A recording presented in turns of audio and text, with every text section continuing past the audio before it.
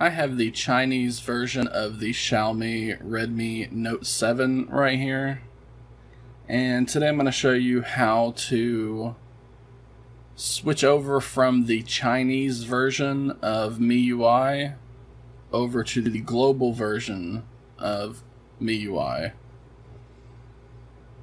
Now this is something I've been wanting to make a tutorial about for weeks, if not months but there has yet to be a specific global fastboot ROM for this device. That's usually how Xiaomi devices work, where you can buy the Chinese version, and then a few months later, when the global version gets released, you can download the fastboot ROM of the global version, boot up into fastboot mode, and then just switch over from the Chinese version to the global version. This brings a lot of new features. It emphasizes Google Assistant instead of Xiaomi's AI Assistant.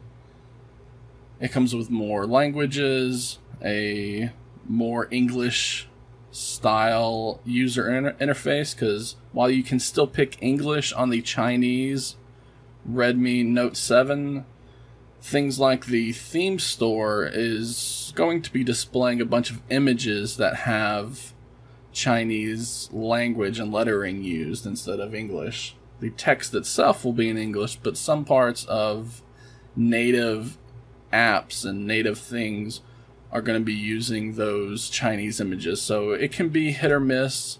That's why a lot of people switch over to the Xiaomi.eu which is an unofficial version of MIUI, and it's what I'm running on this.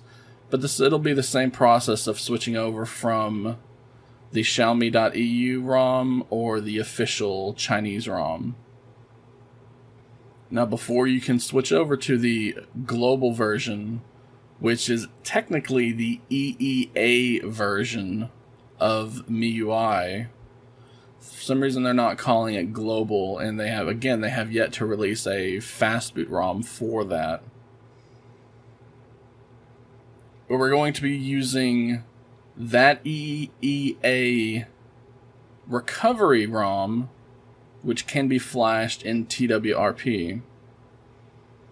So first you need to download that that ROM file. I'll have that ROM file linked in the tutorial for this guide here, this video, on my website, and you'll find that linked in the video description for those of you who are watching this on YouTube.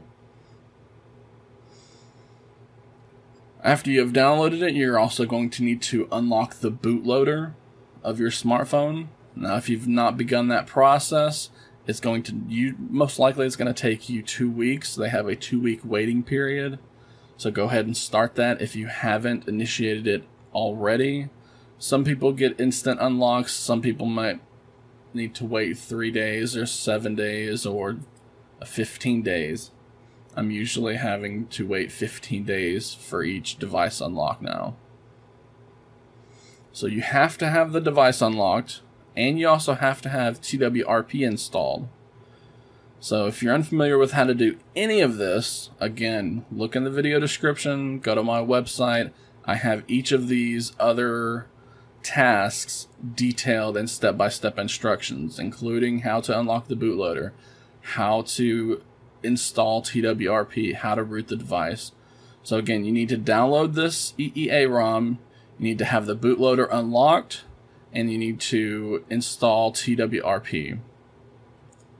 Once all of that is done, then we can boot this device into recovery mode which will again will be TWRP.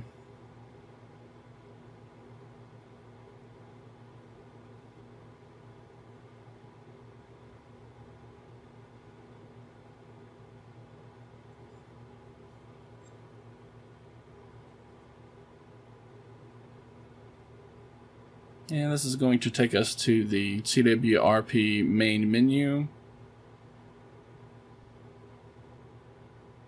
From here, I would recommend you creating a backup ahead of time, just in case you need to restore, in case something goes wrong. Then we need to go into the wipe section. So tap the wipe button and then we're going to be formatting data. Type yes to continue.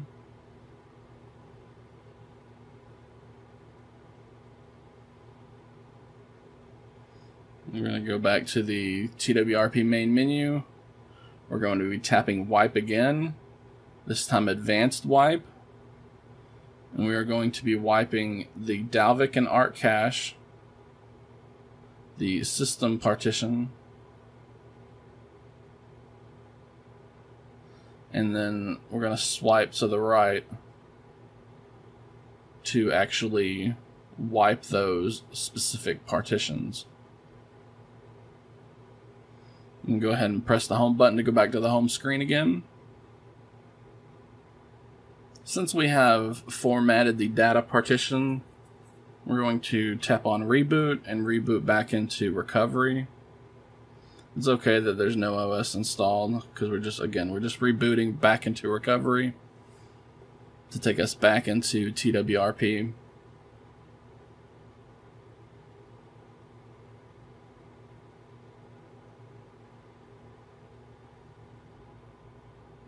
So once we have rebooted from TWRP back into recovery mode, which again will be TWRP, is going to create a TWRP folder in the internal storage of the device. Once that reboot is done, we can then copy the firmware and Magisk and a custom kernel or any other mods that you want to flash in TWRP. We can then copy all those to the device now that we have are done formatting data. As you can see here, we have the TWRP folder here with, I'm, I'm going to be installing the firmware and then Magisk, but you can install other things here if you want. Now I will say, I'm going to be linking to a download for this firmware on my website. Again, this is the recovery um, update for the EEA version of the Xiaomi Redmi Note 7. Now, if you use the download link I give you, then you can just copy it straight to your device, and that's good. If you have downloaded this recovery firmware from a different source, then you're going to need to go into that recovery firmware and remove the the compatibility.zip file that you find in there. All I have done is downloaded this firmware file from source and I've gone in and made that deletion already and that's what I'm linking to on my Android file host account. But for anybody who has downloaded this firmware from a different source, you will need to remove that compatibility.zip file before you flash it. I'll go into detail about that in the full tutorial on my website, but I just wanted to make that clear. As long as you download this firmware from my linked source on my website, then you're good to go. You don't have to delete anything. So again, once we're ready, we're just going to tap on the firmware file. I'm just going to go ahead and tap the add more zips and then tap on Magisk as well. So we're going to install first the firmware and then we're going to install Magisk right afterwards. Once that's ready, we swipe to the right to begin the installation process.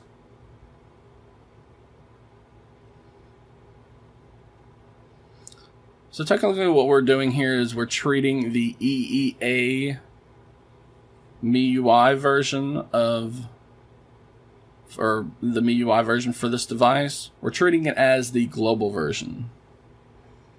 We will probably be able to do this the traditional way with the fast boot ROM whenever one gets released. I've been keeping my eye pretty steady on the XDA forums and the mi.com forum, and I have yet to find an actual fast boot download. That is, of course, as of this, as of making this video and doing this tutorial and in the future that will likely change. But again, this is something, this is a tutorial I've been wanting to do for weeks. if not a month or two, and have just been uh, waiting patiently for that fast fastboot ROM to be released, and it just hasn't.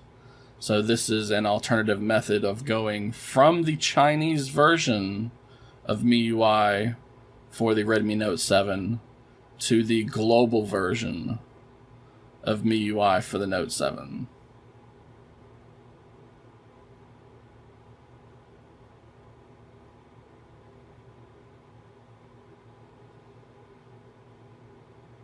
And if anybody has installed any custom ROMs in the past, this whole process is going to be very familiar with you. Like I said, we're treating that EEA version as the global version, and we're treating it as a custom ROM essentially that we're simply flashing in fast in TWRP.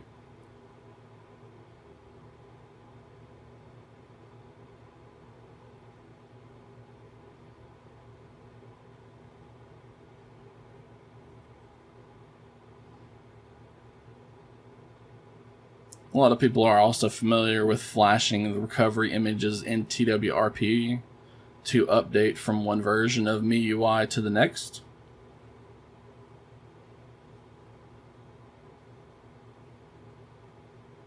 And there we have it.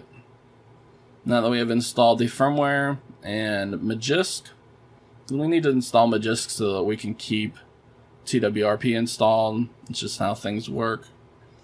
Now we can tap on the reboot system button and that's going to reboot our Redmi Note 7 into the EEA global version of MIUI. And since we have done a factory reset and we're installing and booting a fresh version of, a fresh install of Android, this first boot cycle is going to take longer than normal.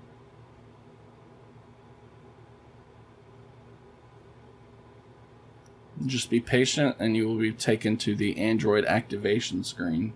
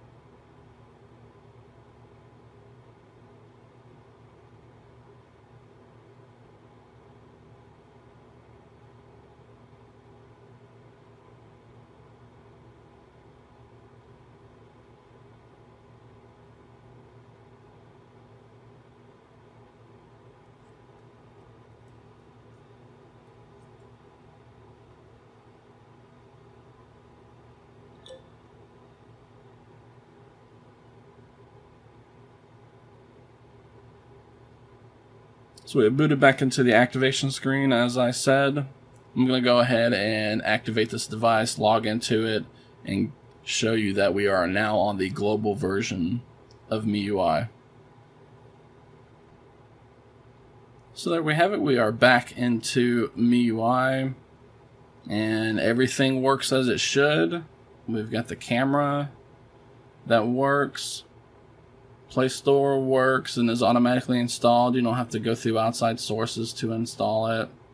The themes work and are in English and are using English images. We can go into settings. We can see here we are on MIUI Global 10.2.